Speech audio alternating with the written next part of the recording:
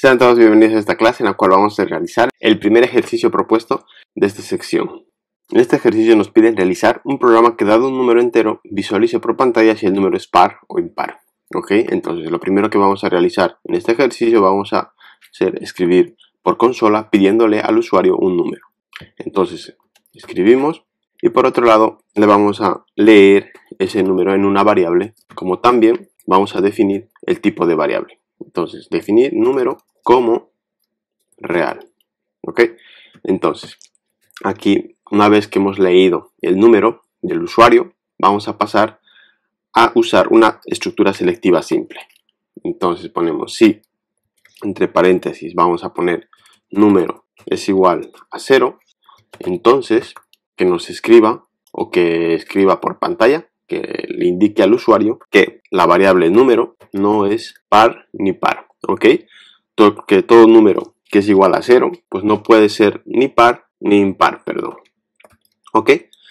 Entonces, una vez que ya tenemos esto, vamos a pasar a poner la otra condición, que va a ser en caso de que no se cumpla esto, o en caso de que el número que introduce el usuario es diferente de 0, entramos dentro de esta condición y aquí vamos a añadir otra estructura selectiva, la cual este programa ya no va a tener una estructura selectiva simple, sino una estructura selectiva doble. ¿Ok? Entonces ponemos la condición y aquí vamos a poner de nuevo que si número, el número que ha introducido el usuario, mod, que va a ser igual a número dividido entre 2, o, va a ser igual a este módulo, ¿ok?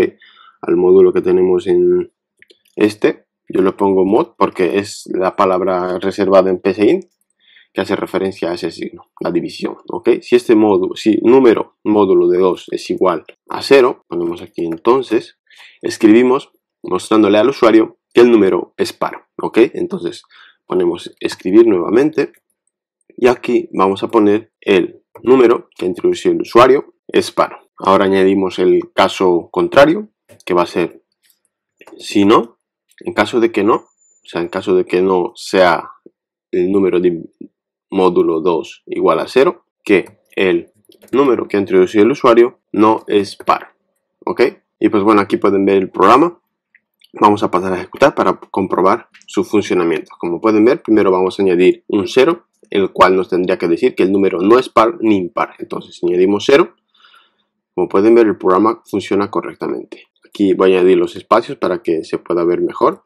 Y bueno, voy a reiniciar y en vez de poner un 0 voy a poner un 2. Si pongo un 2, como pueden ver, va a pasar esta condición, no se va a cumplir esto, porque el número o 2 igual a 0 no cumple, es un false, y nos viene directo a esta, que va a ser la contraria. En caso de que no, en caso de que el 2 no sea igual a 0, pues venimos a ejecutar esto. Y como el 2 entre 2 es igual a 0, pues el número es par, ¿ok? Le damos Enter. El 2 es par. Como pueden ver, está funcionando correctamente. Ahora, si nosotros añadimos, por ejemplo, un 5, va a pasar esto, va a pasar esto y se va a meter dentro de esto. Porque el 5 o número dividido entre 2 va a ser diferente de 0. Entonces nos va a escribir este mensaje. Enter, como pueden ver, el 5 no es par. ¿Ok? Pues como pueden ver, este, este programa está funcionando correctamente. Vamos a ver su diagrama de flujo, como ya sabemos. Le damos clic ahí. Y aquí, como pueden ver, pues el diagrama de flujo está también correctamente. Aquí iniciamos siempre el programa y aquí definimos como real, le pedimos el número al usuario, guardamos el número y aquí venimos a la primera estructura selectiva, la cual si introducimos por ejemplo el 2, no, hacemos que 2 es igual a 0 pues no, es un falso. Entonces se viene aquí y hace la división. Si número, si número dividido entre 2 es igual a 0, que eso va a ser un verdadero, pues el número va a ser par. En caso de que no sea verdadero, que es un falso, pues va a venir y nos va a decir que el número no es par. Y así termina el programa.